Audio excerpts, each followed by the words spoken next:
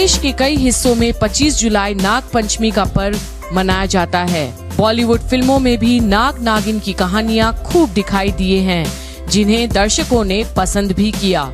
ऐसे में बात करेंगे बॉलीवुड की उन अभिनेत्रियों के बारे में जिन्होंने बड़े पर्दे पर नागिन का रोल किया और अपने किरदार से वाहवाही बटोरी।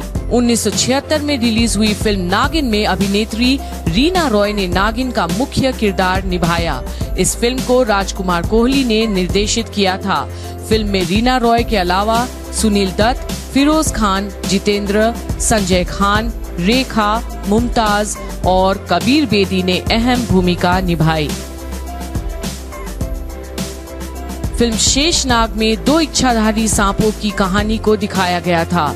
इस फ़िल्म में रेखा अलग ही किरदार में नज़र आई। के आर रेड्डी के निर्देशन में बनी इस फ़िल्म में रेखा के साथ जितेंद्र, ऋषि कपूर, माधवी और मंदाकिनी अहम भूमिका में थे। यह फ़िल्म साल 1990 में आई थी। 2010 में आई फ़िल्म हिस में मल्लिका शेरावत नागिन की भूमिका में थी। फ़िल्म की कहानी एक वैज्ञानिक और नागिन के इर्द गिर्द बुनी गई थी। फ़िल्म में इरफान खान भी अहम भूमिका में थे। जानी दुश्मन, एक अनोखी कहानी, फ़िल्म साल 2002 में रिलीज़ हुई थी।